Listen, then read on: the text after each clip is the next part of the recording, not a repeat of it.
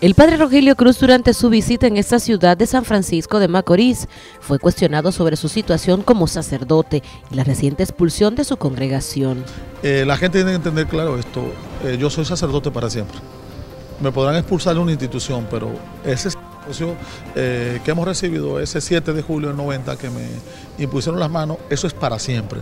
Pues por lo tanto, expulsándome o expulsándome debajo de un árbol, en una capilla, eh, eh, debajo de un puente, yo seguiré siendo el padre Rogelio Cruz, donde sea, es donde quiera. ¿Tiene alguna prohibición, padre? De no, no, no, ninguna prohibición.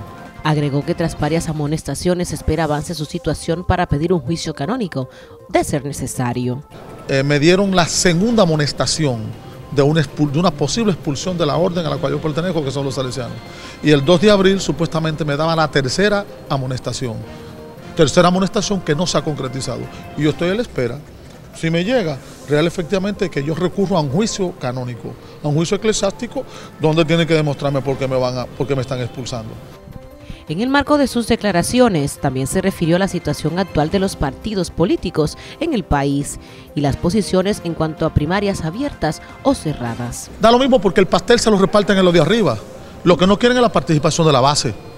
¿Por qué? Porque todos los partidos nacieron en ese caso con, con una dirección, un norte, con unos objetivos, unos principios que lo han olvidado todo.